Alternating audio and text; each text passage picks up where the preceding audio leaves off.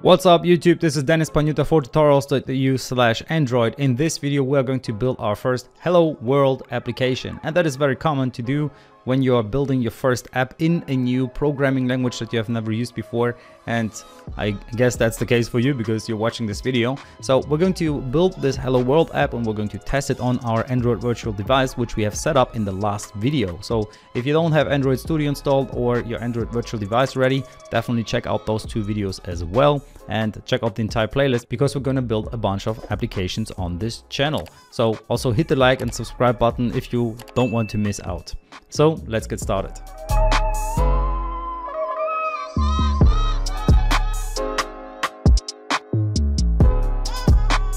So let's go to the main activity. You can either go to it from here and if you by accident closed it, for example, you can still find it in your app, Java, then the name of your package and then main activity. So you can see this is the name of the package that we have selected when we created the project. And you can also find that package name up here. So eu.tutorials.myfirstapp. This just says that this file, all of the code that is in here, belongs to the package of eu.tutorials.myfirstapp.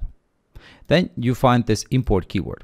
And this import keyword has three dots in it, which means there's something behind it. So you can click on it and then this pops up. You can see here Android X appcompat.app.appcompat which is a library or a namespace, however you want to call it. Both words are fine, which basically means that there is a lot of code behind it and it allows us to use its functionality. So if we delete this line of code, then suddenly our program starts to not work anymore. So we get an error. You can see here it's red underlined here, this main activity. So it doesn't understand what this override method does because, well, we never had set it up. So that's something that is set up in this app compat activity, which basically is a lot of code that somebody else wrote for us and we can now reuse in order to not have to write that code manually ourselves. So we should be thankful to them because they really save us a lot of time. So thanks a lot for doing that. Now we are using this app compat here again, you can see, and that is only possible because we have this import. Now the same goes for this bundle here. You can see saved instance bundle. Well, we're using this bundle code in our class main activity as well. So that's why we have these imports and we're going to add more imports later on, which will then allow us to use different kinds of code and functionality, which is very powerful. If you want to understand more what's behind this app activity, you can just hold your command key or control key and then click on to the name here. And you will find that it opens up this declaration for this file. You can see it's called appcompatactivity.java. So it's a Java file. It's not a Kotlin file. You can also see that by its structure. So the code is slightly differently written. So you have the access modifiers here everywhere. You don't even need to understand what that is at this point. So you can see there are hundreds of lines of code basically allowing us to use them. And then the same goes for this bundle. You can just click onto it and then you can, well, access it and make changes to it, but I'm not going to do that for now. Quick pause. So you're learning something about Android in this video and I hope you enjoy it. If you want to learn everything that you need to know to become a real Android developer, then definitely check out my Android Masterclass because in this course you're going to build a bunch of great applications along your journey to becoming an Android developer. First, you're going to learn the Kotlin basics. Then you're going to learn to build one app after another. And while you do that, you get a bunch of demos which will really dig deep into the concepts as well as presentations which will help you to understand what you're learning. So don't miss out and get the course right now. You can find the link in the description below. So then, this is the important part. This is basically where our own code starts. So we have our main activity, which is a class. So then we have this class keyword and we're going to look deeper into what a class is later on, but generally it's going to be the container for our code. It's going to hold our code and it will allow us to execute some code. So we call this class main activity and it has this colon here then app compat activity, which basically just means that it inherits from app compat activity. And we're going to see what inheritance is later on once we get to object-oriented programming. It would lead way too far for now. What's really important is that we have this onCreate method, which will be called once our main activity is going to be created. And by the way, an activity is just a screen. So if you have multiple screens in your application, for example, the login screen and then the profile screen and so forth, all of those would be different activities. And we're going to create multiple different activities later on when we create more complex applications. But that's what you just need to remember for now. Activity equals screen. And then we have this override function on create.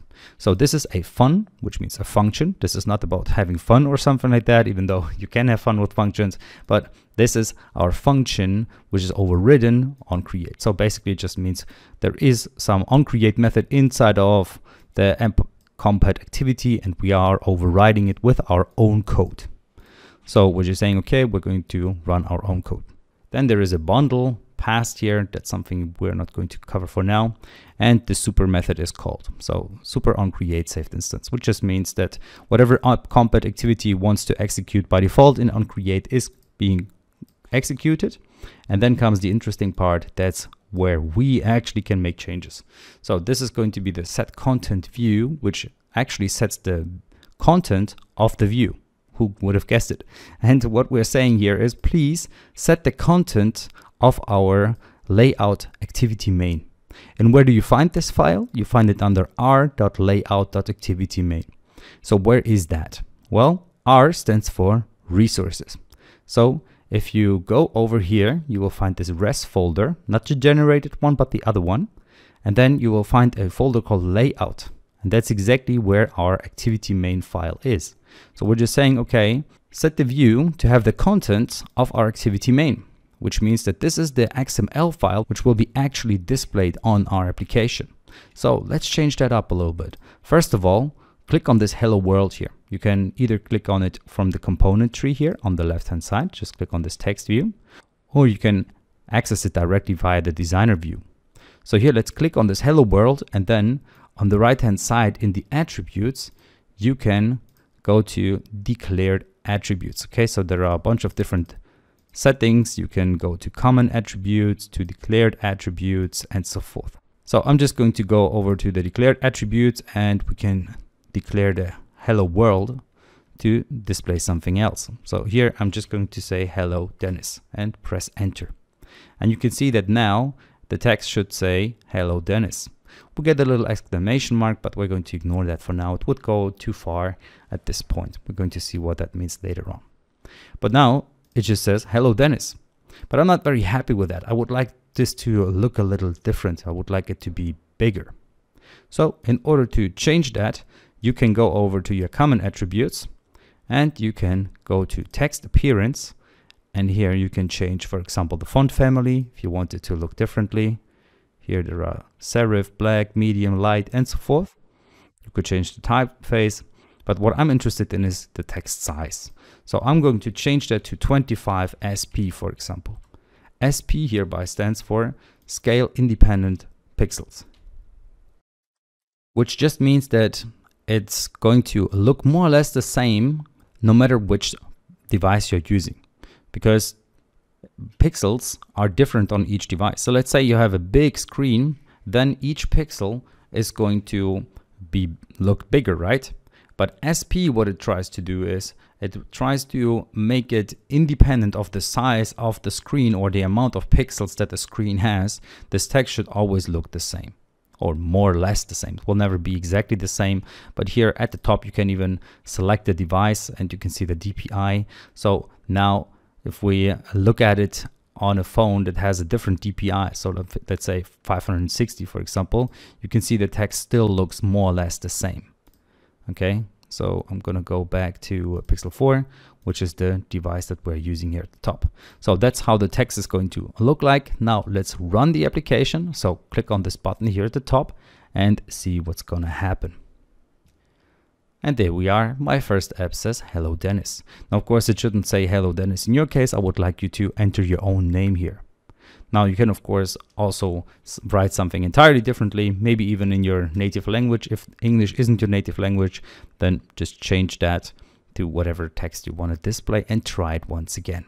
With the common attributes here, for example, you could change the color as well if you don't want to use black, you could re use red, for example. I really love the color red. So change that, rerun the application, and then go over here and you will see that it says hello Dennis in red now.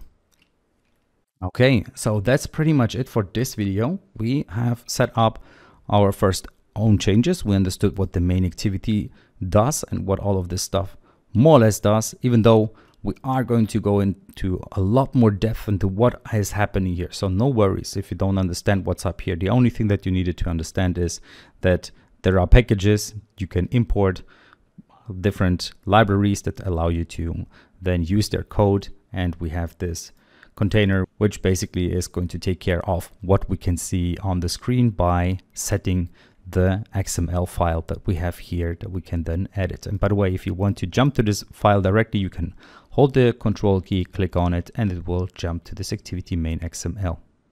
And just a very quick one, we're not going to change anything there, but this designer here is just one way of looking at this. We're going to work a lot with the code, and this is how the code is. And we're going to see what all of that means later on in the course. But you will probably already see it says hello Dennis here. It says that there is a certain text color, which is this red, and you see that there's a certain text size that we have defined. And that is basically representing what we see right here. Alright, so see you in the next video where we're going to create a people counter app.